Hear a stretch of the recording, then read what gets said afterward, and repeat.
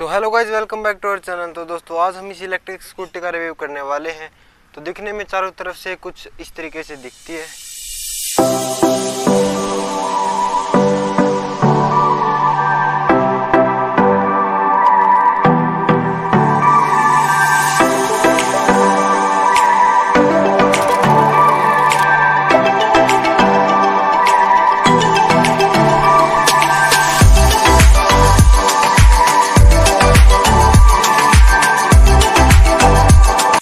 इस तरीके से स्कूटी की की आती है और ये रिमोट हमें बिल्कुल गाड़ी वाली फीलिंग देता है। इससे हम स्कूटी को ऑन ऑफ़ कर सकते हैं, आपको करके दिखाऊँगा। उससे पहले आप इसके फीचर्स देख लेते हैं एक बार। तो हम इस साइड आते हैं। यहाँ पर ये जो बटन है, हमारा ये हॉर्न वाला बटन है और ये इंडिकेटर्स वाला और इसे हम डिपर दे सकते हैं डिपर वाला। और अगर इस साइड में आते हैं तो यहाँ पर ये भी हॉर्न वाला बटन ये ये और ये दोनों हॉर्न हैं। और ये इससे हम अपनी लाइट्स ऑन ऑफ़ कर सकते हैं। और ये जो चीज़ हम देख रहे हैं, ये है इस स्कूटी के गियर जी हाँ इसमें गियर भी आते हैं। और ये जो हम नीचे बटन देख रहे हैं, ये है रिवर्स वाला, जिससे हम स्कूटी को बैक चला सकते हैं। हाँ ये स्कूटी बैक भी चल सकती है।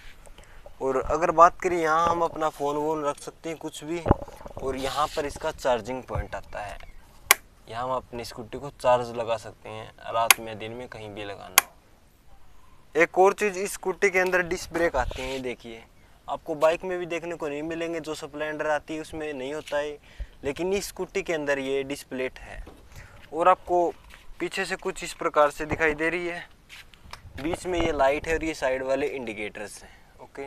और अभी मैं इस चाबी का यूज़ बताता हूँ, आपको चाबी का यूज़ हम कैसे कर सकते हैं। जो हमारा ये वाला बटन है, जो आप ये देख रहे हैं, इसको दो बार प्रेस करते हैं तो आप देख सकते हैं, ये स्कूटी यहाँ पर चालू हो गई है।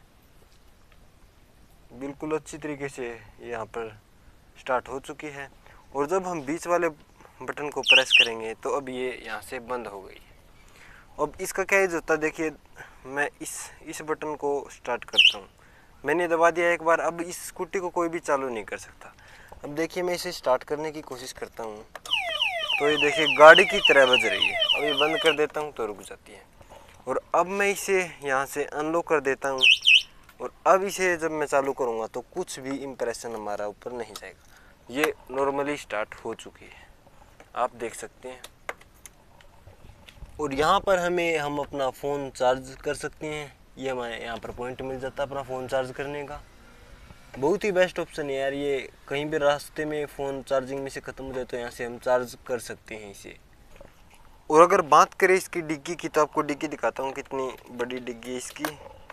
तो आप देख सकते हैं।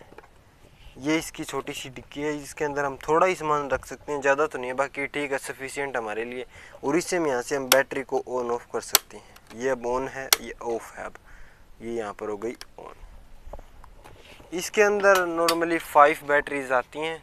और अगर इसकी रेंज की बात करें तो ये फुल चार्ज होने के बाद 70 किलोमीटर निकाल सकती है। और ये चार से पाँच घंटे में फुल चार्ज होती है। और आगे का आलोय आपको कुछ इस प्रकार से मिल जाता है।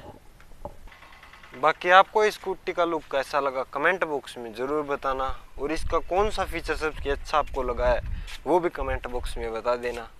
तो अभी करते हैं वीडियो को एंड, वीडियो पसंद आई तो लाइक कर देना।